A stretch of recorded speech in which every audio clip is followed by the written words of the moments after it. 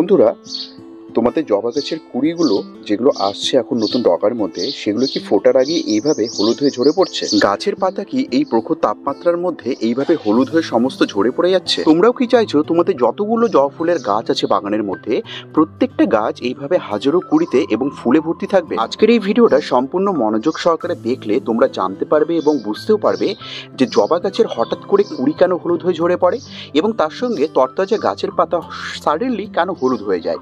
এই সমস্ত প্রবলেমগুলো যেগুলো আমরা জবা গাছে দেখতে পাই, এই গরমের সময় দাঁড়িয়ে এগুলোর সহজ মাত্রায় আমাদের ঘরোয়া পরিচর্যা কী আছে এবং তার প্রতিকার কী আছে সেগুলো জানতে এবং বুঝতে হতে গেলে এই ভিডিওটা কিন্তু তোমাদেরকে সম্পূর্ণ মনোযোগ সহকারে দেখতে হবে।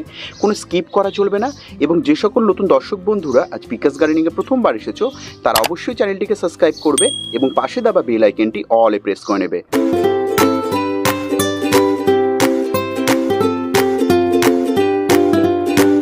জবা গাছে এই যে হাজারো কুড়িগুলো আসে, এই কুড়িগুলো হলুদ হয়ে যাবার পিছনে কিন্তু দুটো কারণ থাকে।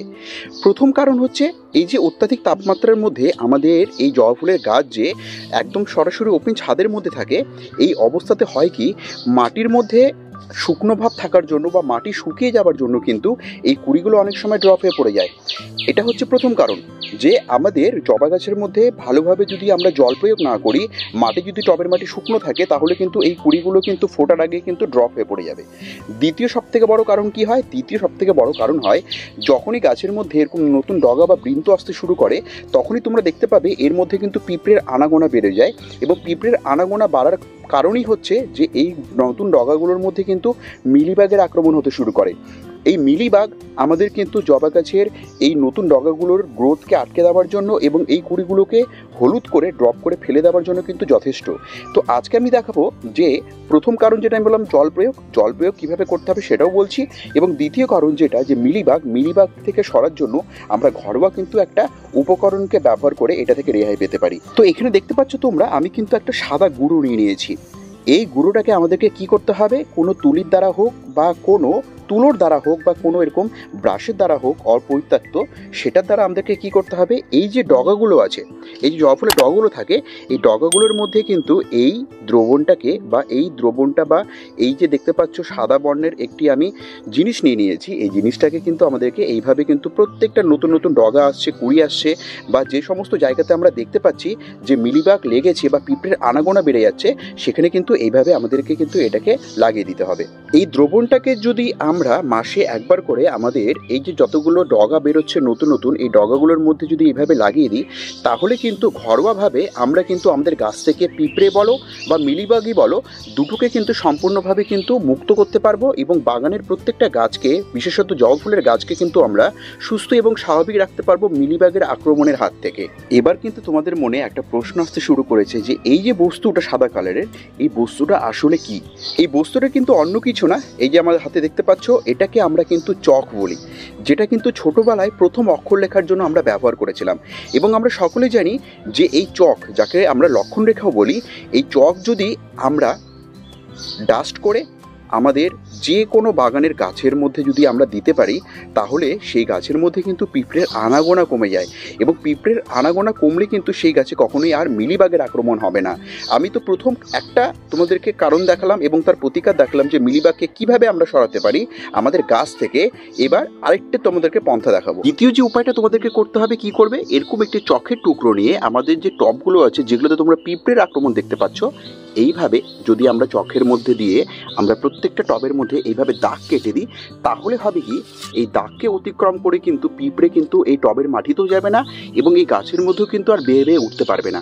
তাই অবশ্যই চেষ্টা করবে যে সমস্ত পাত্রের মধ্যে দেখতে পাচ্ছ তোমরা যে পিঁপড়ের আনাগোনা বেড়ে গেছে, সেই টবগুলোর মধ্যে এইভাবে কিন্তু চখের টুকরো নিয়ে তোমরা দাগ কেটে দিতে পারো। এর বাইরেও এই যে ডগার মধ্যে নতুন নতুন কুড়িগুলো আসে, এই কুড়িগুলা এইভাবে ফোটার আগেই যে ড্রপ হয়ে পড়ে যায়, এর পেছনে কারণ থাকে যখন আমরা একটি জবা ফুলের গাছকে, এই যে দেখতে পাচ্ছ পুরো বাগানটা আমার রয়েছে, এই যে জবা ফুলের গাছ রয়েছে, এই গাছকে যখন আমরা ওপেন ছাদের মধ্যে রাখি, তখন অবশ্যই আমাদেরকে লক্ষ্য রাখতে হবে যে এই যে টবের মাটি রয়েছে, এই মাটি যেন সবসময় হালকা ভেজা ভেজা অবস্থায় থাকে।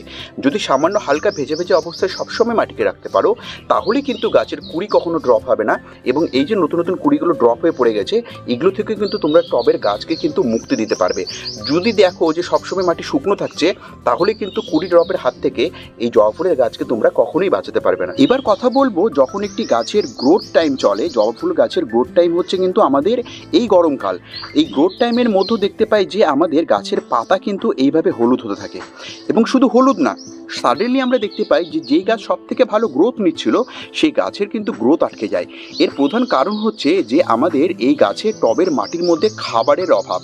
এই গরমের মধ্যে দাঁড়িয়ে আমরা যদি রাসায়নিক খাবারকে অ্যাভয়েড করে, আমরা যদি তরল জাতীয় জৈব খাবারকে প্রয়োগ করতে পারি, তাহলে যেমন টবের মাটিও ঠান্ডা থাকবে এবং টবের মাটি ঠান্ডা থাকলে পরে শেকড়ের গ্রোথ ভালো হবে। শেকড়ের গ্রোথ ভালো হলে আমরা সকলেই জানি প্রত্যেকটা গাছ কিন্তু সবুজ এবং সতেজ থাকবে। তো চলো দেখে নিই যে এই সময় দাঁড়িয়ে এই গরমের মরশুমে গাছকে ঠান্ডা রাখার জন্য, ভালো গ্রোথের জন্য কোন ধরনের জৈব খাবারগুলো আমরা প্রয়োগ করতে পারি। এটা তোমরা দেখতে পাচ্ছ, পাত্রের মধ্যে কিন্তু অলরেডি আমি কিন্তু একটি তরল খাবার বানিয়ে রেখেছি।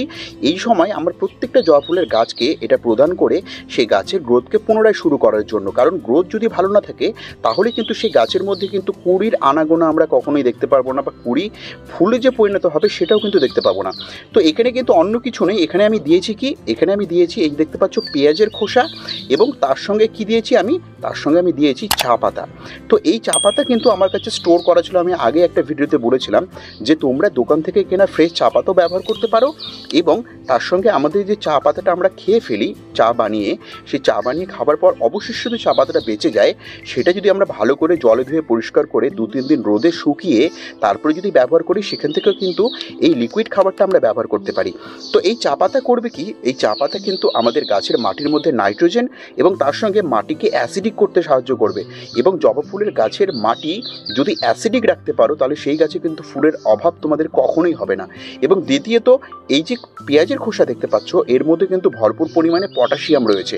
এই দুটো খাবারকে গাছে প্রদান করার আগে সর্বপ্রথম কি করব? আমরা ভালোভাবে ছেঁকে নেব, উপাদানটাকে আলাদা করে নেব, তরলটাকে আলাদা করে নেব। কোনো সুতির কাপড়ের দ্বারা হোক বা কোনো এরকম ছাঁকনির দ্বারাই হোক, আমাদেরকে কি করতে হবে? আমাদেরকে কিন্তু সর্বপ্রথম এই জলটাকে বা এই যে তরল খাবারটা আমরা তৈরি করেছি, এটাকে আমরা ছেঁকে নেব।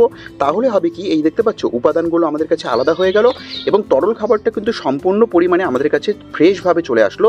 এবার কিন্তু এই খাবারটাকে প্রয়োগ করতে পারব। কিন্তু প্রয়োগ করার আগে এই যে তরল খাবারটা আমরা তৈরি করেছি, এটাকে আরও আমরা শক্তিশালী করার জন্য আরেকটি উপাদানের মধ্যে মেশাবো। তো বন্ধুরা দেখতে পাচ্ছ, চামচের মধ্যে কিন্তু আমি একটি উপাদানকে নিয়ে নিয়েছি। এটা কিন্তু আমাদের হিং, যেটা কিন্তু আমাদের খাবারকে সুস্বাদু করতে ভীষণভাবে আমরা কিন্তু খাবারের মধ্যে প্রয়োগ করে থাকি। এই হিং যেটা কাজ করবে, হিংয়ের মধ্যে কিন্তু একটা উগ্র গন্ধ রয়েছে। এই গন্ধের জন্য হয় কি, মাটির মধ্যে কিন্তু কোনো রকমের ভাইরাস বা ব্যাকটেরিয়ার আক্রমণ হয় না। এবং দ্বিতীয়ত, এই হিং যেটা কাজ করে, এর উগ্র গন্ধের জন্য কিন্তু গাছের মাটির মধ্যে কিন্তু পিঁপড়ের আনাগোনা সম্পূর্ণভাবে কম হয়ে যাবে। এবং আমরা সকলে জানি, পিঁপড়ের আনাগোনা কম হলে কিন্তু আমাদের গাছে কখনোই মিলিবাগের আর আক্রমণ হবে না।